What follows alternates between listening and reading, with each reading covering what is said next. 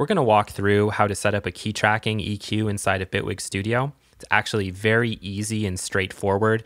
You might just need some kind of a note to frequency chart to help you out if you're trying to pinpoint the exact frequencies. So what we're going to do is we're going to go ahead and add a modulator and shocker, it's going to be the key track modulator. And then I just want to kind of leave everything alone so that will make my life a lot easier. So we can see that the root is at C3. And now this is the one thing that's kind of important. I'm going to make all of my decisions around that C3 note. You don't have to do that. You can kind of offset it, you know, do something at C2 or, or put in note effects and things if you need to, depending on the part that you played, like if it's a bass part or something. But this is the way that I'm going to go about doing it because it's just the easiest and most straightforward approach, and we can get through the video faster. So, what I'm going to now do is I'm going to bring up the spectrum analyzer and let's take a look at this. And if you notice right now, the spectrum analyzer is not really helping me that much. I'm going to take the resolution, put it up to large, and then I'll go ahead and just freeze this. And now we get a good idea of the imprint of this sound when I hit the C3 key. So we can see that we have something here. It's being labeled at C2 around like 128, 131. Bitwig is kind of interesting in that for some reason it has offset everything by about an octave. So if you have a note to frequency chart, it's probably going to tell you C3 is around 131, but we know that, you know, that's offset inside of Bitwig. So I'm actually going to grab this fundamental frequency and I'm going to look at my chart here real quick and it's telling me 131 hertz. That's with me rounding up. So we'll just go 131 here, and then that's going to highlight over this sort of fundamental. And I'm going to add a nice, big, huge boost to this thing just so that we can really kind of hear what's going on. So now if I play a key, we can hear that lower note being enhanced.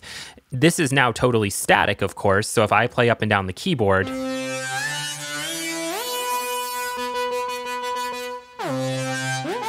even a note that's just a little bit higher on the keyboard isn't ha- doesn't have that same low end to it. So we're going to set up the key tracking. And now this is really simple and straightforward.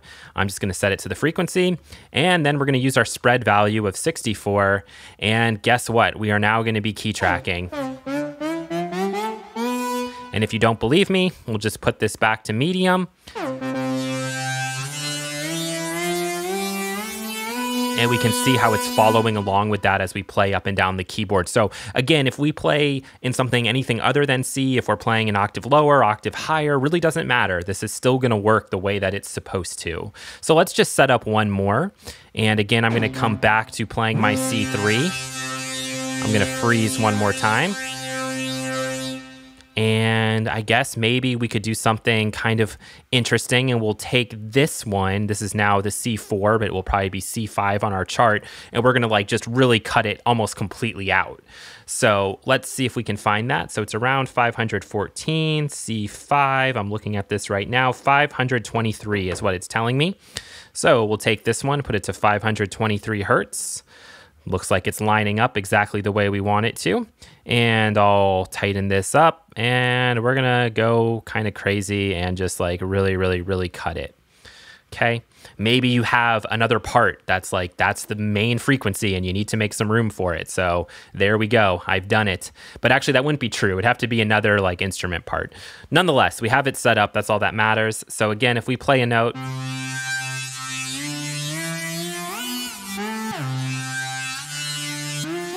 you'll hear as we play away from that the the actual like timbre of the instrument changes. It's not staying consistent, which is what we expect with a synthesizer. So I'll go ahead and take this and I'm just going to do exactly the same thing. Good. And now when we play notes, put this back onto medium.